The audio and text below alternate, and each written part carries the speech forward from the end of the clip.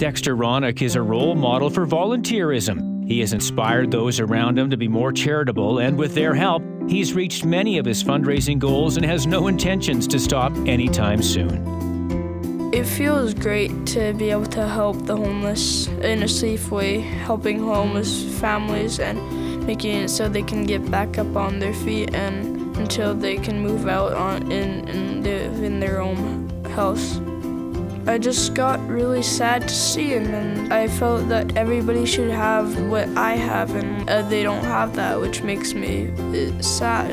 The passion just comes from my heart.